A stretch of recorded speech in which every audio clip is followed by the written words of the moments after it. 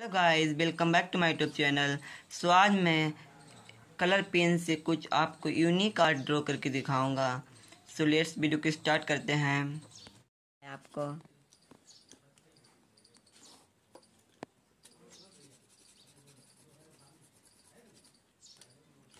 ऐसे चला लेना है खूब सा। ऐसे चलाने के बाद, ऐसे ब्रश लेना है और इसको पानी में, ऐसे करने के बाद